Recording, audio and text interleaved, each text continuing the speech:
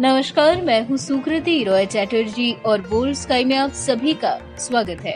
धार्मिक मान्यताओं के मुताबिक आरती करने और आरती में शामिल होने से बहुत पुण्य लाभ मिलता है। पद्म पुराण में वर्णन है कि कुमकुम अगर कपूर घृत और चंदन की पाँच या सात बत्तियाँ बनाकर या रुई और घी से बनी बत्तियों से आरती करनी चाहिए। आरती शंख घंटी बजाकर करनी चाहिए। ऐसे में आइए जानते हैं कि पूजा के बाद आरती करने का धार्मिक और वैज्ञानिक महत्व क्या है।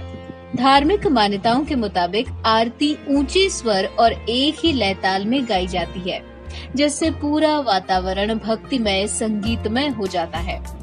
ये माहौल हर स्थिति में मन को सुकून देने वाला होता है। अलग अलग देवताओं की स्तुति के लिए अलग अलग वाद्य यंत्रों को बजाकर गायन करने से देवी देवता शीघ्र ही प्रसन्न होते हैं। धर्म शास्त्रों के मुताबिक आरती करने वाले व्यक्ति पर ईश्वर की सदैव कृपा बनी रहती है। आरती करने का वैज्ञानिक महत्व आरती के लिए प्रयोग में लाई जाने वाली रुई की बत्ती के संग घी या कपूर जब जलते हैं तो वातावरण सुगंधित हो जाता है, जिससे आसपास की नकारात्मक ऊर्जा दूर होती है और सकारात्मक ऊर्जा का संचार होने लगता है।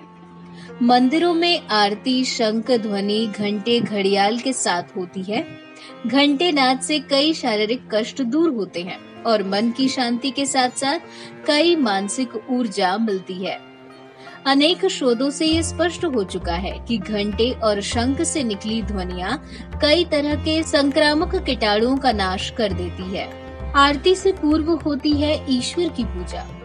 स्कंद पुराण में भगवान की आरती के संबंध में ये कहा गया है कि यदि कोई व्यक्ति मंत्र नहीं जानता हो, पूजन की विधि भी नहीं जानता हो तो ऐसे पूजन काम में अगर श्रद्धा के साथ सिर्फ़ आरती ही कर ली जाए तो भी प्रभु उसकी पूजा को पूरी तरह से स्वीकार कर लेते हैं। आरती के बाद ज़रूर करें ये काम।